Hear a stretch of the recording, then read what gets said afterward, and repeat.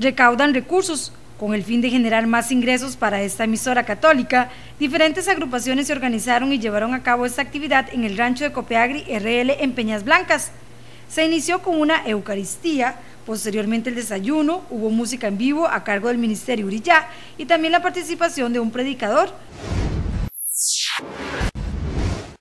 Siempre gracias a Dios la gente que colabora eh, con los programas de la radio eh, tratan de, también de ayudarnos un poco a, a sostener Radio Sinaí. Sabemos que aunque tenemos patrocinios, aunque tenemos también programas pagados, la mayoría de los espacios no son pagados, los espacios de evangelización. Y entonces, eh, tal como lo hace el Grupo de Renovación de Palmares, nos han querido ayudar precisamente organizando para la radio este desayuno católico. El director de la radio, el presbítero William Rodríguez, descartó que la emisora tenga problemas económicos. Gracias a Dios no, no los tenemos.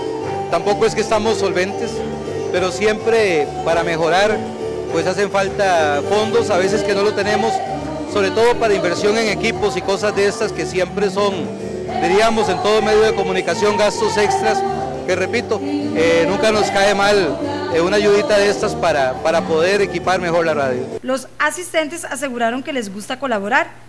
Muy bonito, es muy, muy bonito y está muy bien, ¿verdad? También, todo muy bien ordenadito todo y estoy muy contento de ver que muy buena atención todo.